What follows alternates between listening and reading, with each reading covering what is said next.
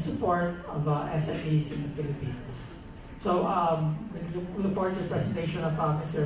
Uh, Crispian, and uh, perhaps he will give us the private sector perspective on uh, single-use plastic. So, uh, Mr. Lao.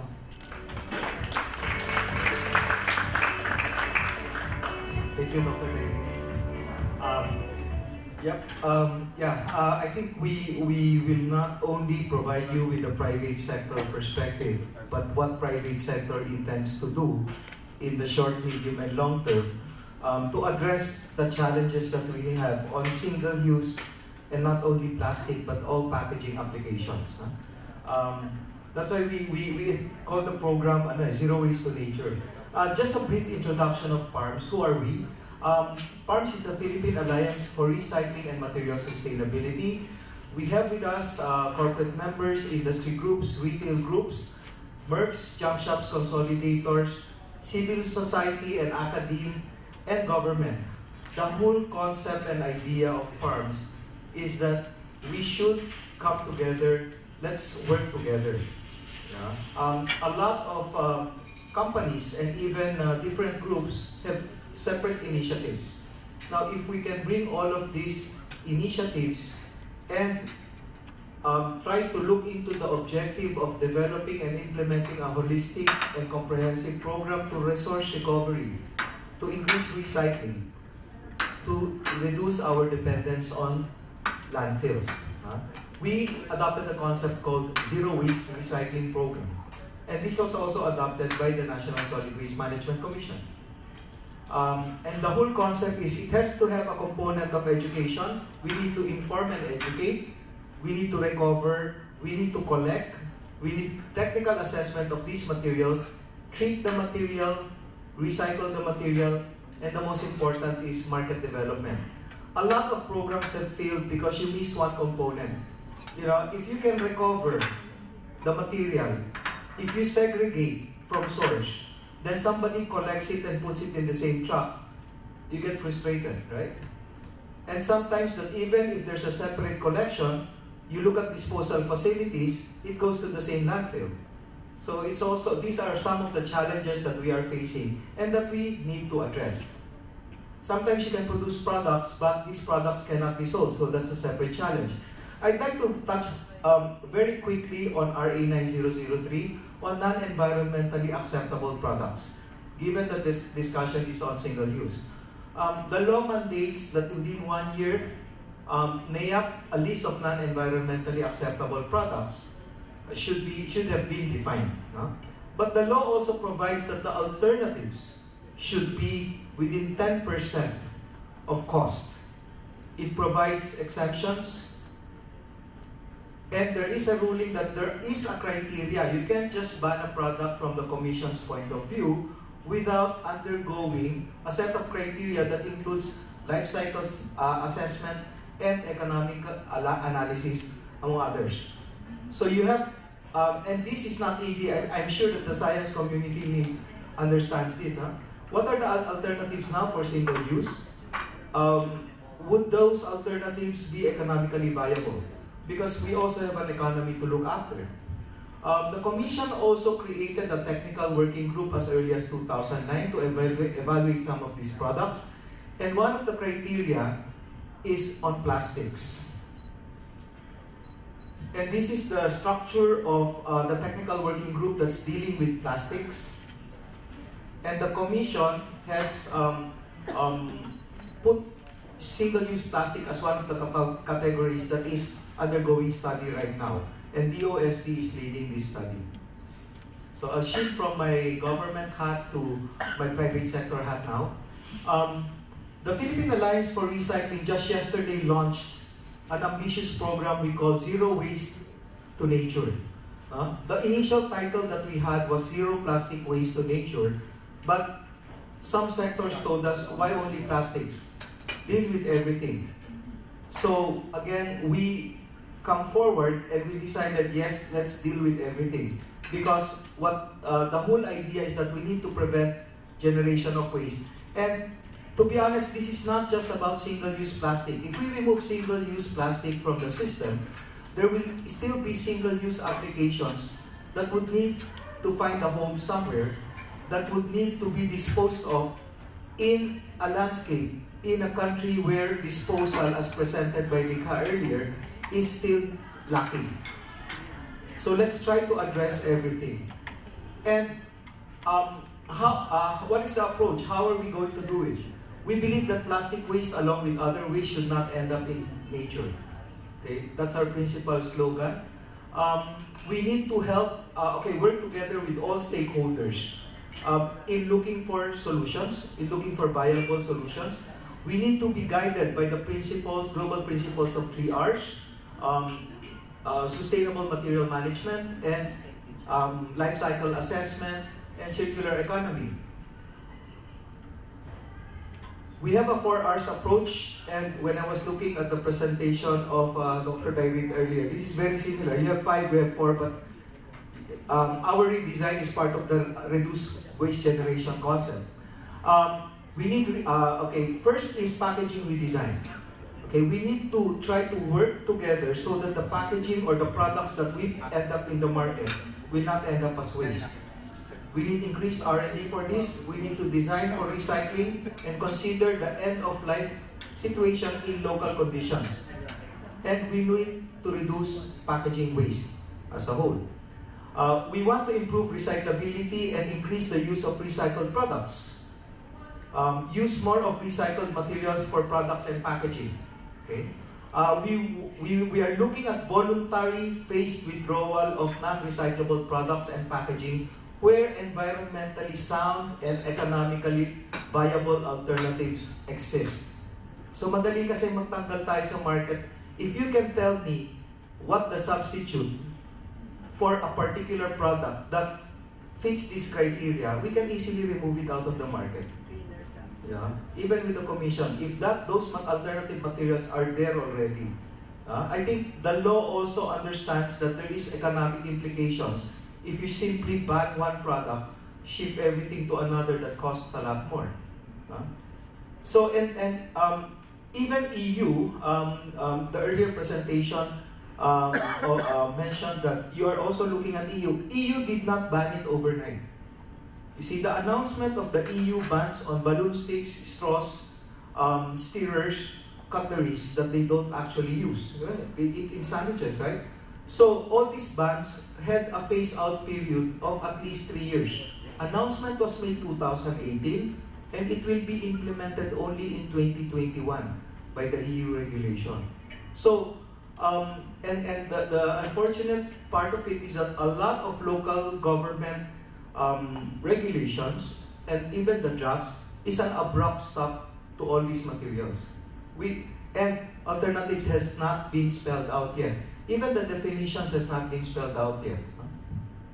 We want to look at reuse options, okay, explore alternative delivery systems and reusable materials while ensuring the protection of environment, health, water, water resources, and economy. So we're looking at increased consumer awareness for reuse um, and policies to shift behavior. We're looking to explore and develop refill systems for delivery of goods uh, uh, to consumers and address regulatory restrictions. Okay, as much as uh, industry wants to do it, there are regulatory restrictions, especially for food and personal care. And we need to shift reusable options while ensuring that water and wastewater resources are not affected. You see, we, uh, we, we hear in the news that we are expecting a water shortage this summer, huh? the same way we did last month. Just imagine if we shift all consumption of all fast food chains tomorrow to go for reusable, imagine how that would impact the water. And more importantly, okay, wastewater. That is a separate challenge and a bigger challenge to us also. You know? Um, um, again, I would rather put our water for irrigation so that we can have more food to eat in this country rather than just to wash the dishes. So how, um, and this perhaps we have to look at different approaches. Um, recover. Um, we need to increase waste collection across communities. We need to involve all stakeholders. We need to create added value from waste so that there will be more items to recover. And doing so, Okay, and we need to more importantly develop an infrastructure to systematically recover waste from source where there is better quality. You know, if you're collecting it from mixed sources, it's highly contaminated, right? But it has to be systematic, you know. I love the models of Mother Earth where they collect it from households, okay? Those, those are ideal con conditions. Now, can we do it nationwide? The problem also with recyclable material, whether it's paper, plastic, glass, or steel, is it is a commodity item. When prices are high, everybody wants it. When prices are low, the junk shops run away and close shop.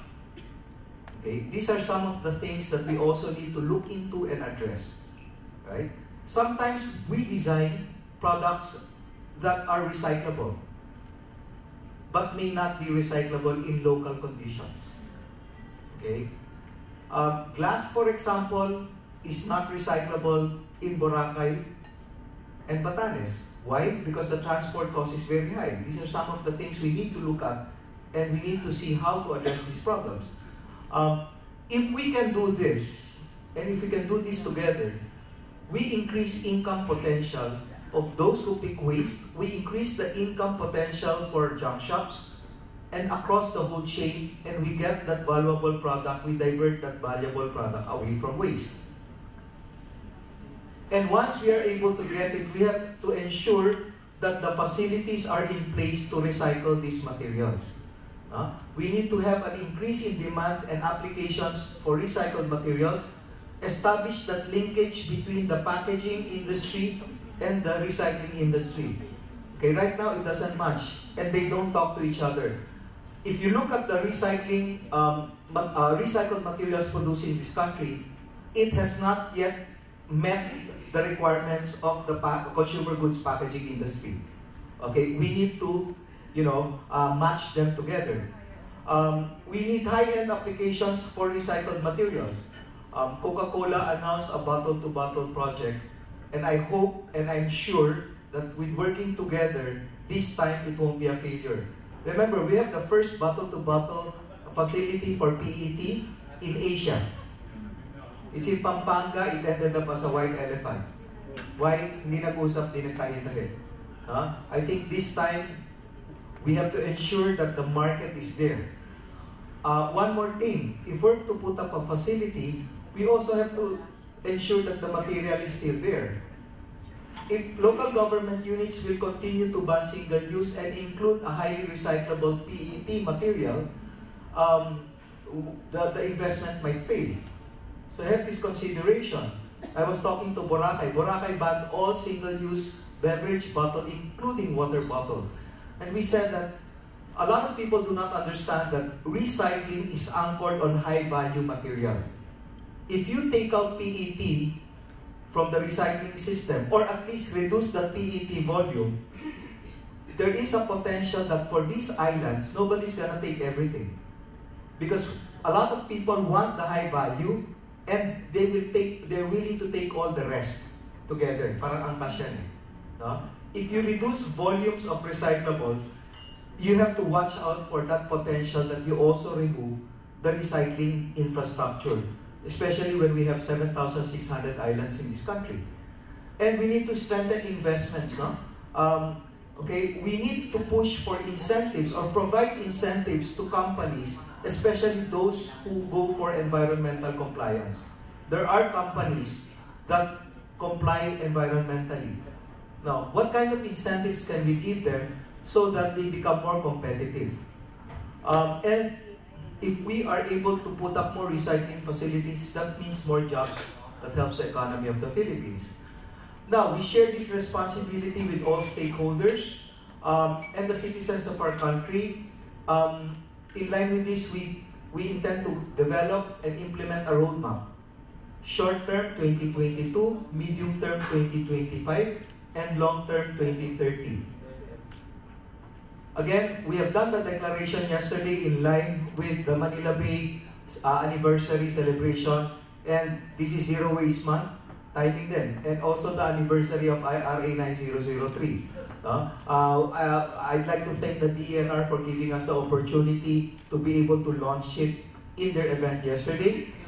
Um, we intend to develop, okay, uh, to have the consultation by February and March, we will have the consultations on road uh, on developing the roadmap.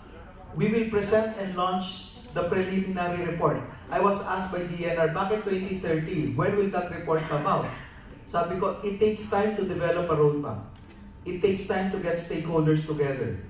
Now, uh, I was, um, I'm happy that when we released this declaration, we got all stakeholders, at a minimum of 11 FMCG companies to commit to us, recyclers, consolidators.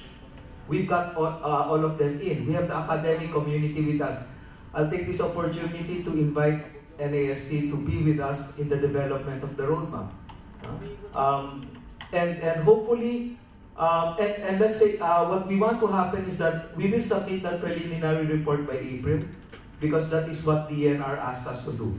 So sabi nila, submit the roadmap by April. Sabi ko, napakahirap naman gumawa ng roadmap in two months. Di ba? Uh, pwede namin kung puro magic motherhood. Now, what we want to do is not motherhood statements. It's concrete actions, programs on what to do, how to do it. Things that we can not address, we will park it.